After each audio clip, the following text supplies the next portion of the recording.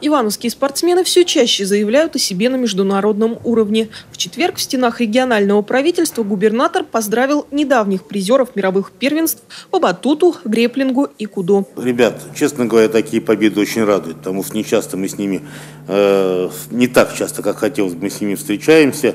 Вот. Безусловно, спорт э, это среди наших приоритетов.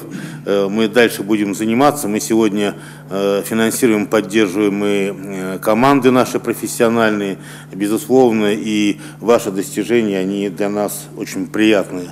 Ну, не скажу, что сюрприз. Это результат большой серьезной работы, причем и вашей, и ваших тренеров. Старания тренеров и ребят не прошли даром. Батутисты Дмитрий Зенкин и Дмитрий Лебедев заняли, соответственно, первое и второе места в своих категориях. Валерий Смирнов и Константин Патраков завоевали на чемпионате мира по спортивной борьбе борьбе в дисциплине греплинг золото и серебро.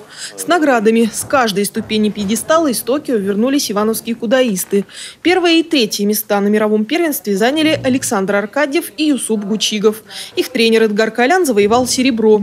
Немалую роль в этом, считает президент Ивановской Федерации Кудо, сыграла поддержка региональных властей. Перед отправкой на чемпионат мира нас э, чествовал губернатор наш Павел Алексеевич Зак разнопутные слова говорил, чтобы мы достойно там выступили. И когда ребята уже были в Японии, в Токио, они понимали всю ответственность возможных ситуаций, да, и они не только там понимают ответственность как бы перед нашей Ивановской областью, но перед всей страной.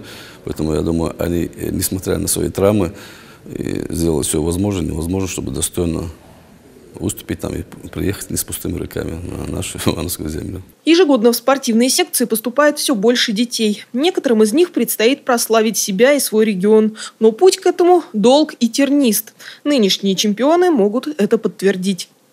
Наталья Гутарина, Андрей Семиволков, РТВ Иваново.